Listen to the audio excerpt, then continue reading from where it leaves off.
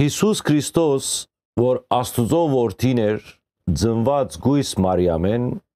նույն աշխարի լույսն էր։ Նույն գենած հացն էր եւ նույն գենթանի ճուրն էր։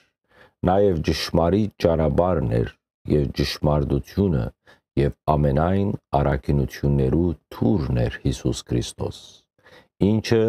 շատ ծանր ու դժվար ընկալելի եղավ հрья ասկի մեծամասնության համար։ Այդպես հալ չհասկացան,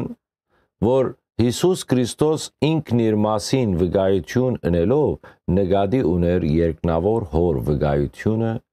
իր կորձերը եւ սուրբ գրային բոլոր մարգարեությունները Փարիսեցիներու աչքը գտեսներ մարմնացիալ Հիսուս Քրիստոսը եւ անոնց համար դժվարություն էր հավատալ անոր աստվածությանը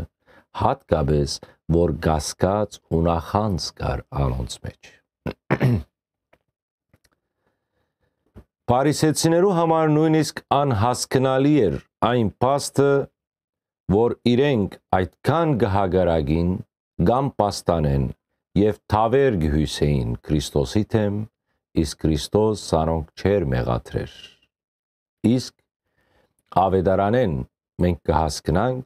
որ Քրիստոս առաջին անգամ աշխարհ եկած էր ոչ թե թադելու,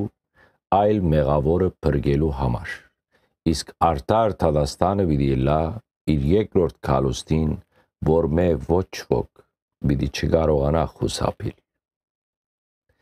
Չէ որ երկնավոր հայրը ամեն Թադաստան դված է որդին, եւ Թադաստանի մեծաշնորը որդվույն մոդ է։ Աստուծո որդին, եթե գամենար առավել ուրիշ վկայություններ բերել իրեն համար, ապա Մովսեսը գբերեր որպես վկա, որը Թափոր լերան վրա դեսավ Եղիա Մարկարեին հետ եւ գամ Հովանես Մգրդիչը գբերեր վկա, որուն մասին քրվածները գարտացած էին։ Բայց Հիսուս Քրիստոսի նպատակն էր երկար մնալ այդ մարմնի մեջ, որբեսի օգուտ բերեզինք լսողներուն համար մինչև խաչի պարավոր մահը։ Թեև Փարիսեցիներու գոմե վաղուց ծրակիր էր անոր բռնելը, սակայն չեր հաջողեր ոչ մեկ անգամ